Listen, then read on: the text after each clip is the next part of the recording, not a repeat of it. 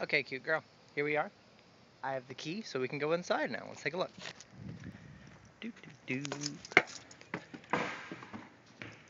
So the living room is a little smaller than I remember it being, but that's kind of how it goes, I guess.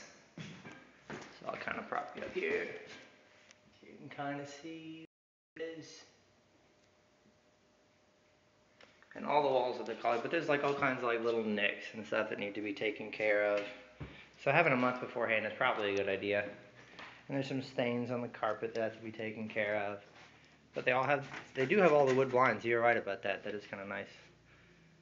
So nice little view of the backyard out the window here. And uh, all that storage space up top. It looks like it was just kind of thrown together. It's kind of hackneyed. And like two by fours and stuff. And those like missing light switch covers and no real light in the living room. And into the dining room with that beautiful fixture. That thing is wonderful. I'd like to find a lamp to match it if we can. And there's a couple of things like you see under the windowsill there, that big, I don't know what that's about. But I'm gonna try to fix it. Wood slats in here, into the kitchen.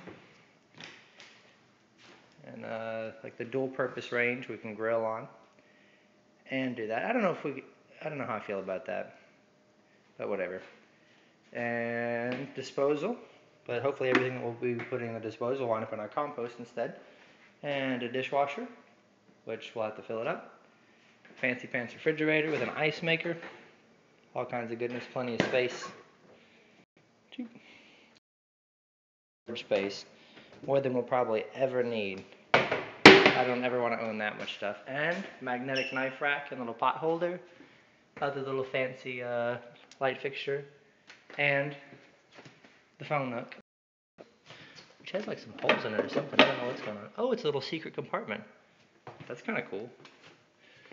I had no idea. I'll futz with that later. Uh, down through the hallway, where our washer and dryer is located.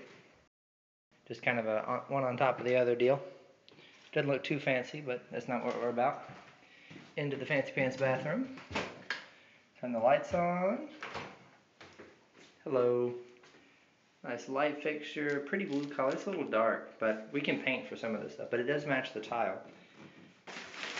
The shower, which could use, could use a good cleaning, but it's not bad. And then storage space in the back. You can see there's hardwood floors underneath of all this, it looks like. So, into the master bedroom with its little window seat and pretty doors. Look at those doors. And its view out into the backyard. And the dog brick should be somewhere out there. I let her go, so hopefully she's out there still. I haven't checked the place for holes, so we'll see. And into the tiny little uh, guest bedroom. It's a little tiny that I remember it, remember it being, but it's still not too bad. So that's pretty much it. I'll post this on YouTube and I'll see you in a month. Bye, girl.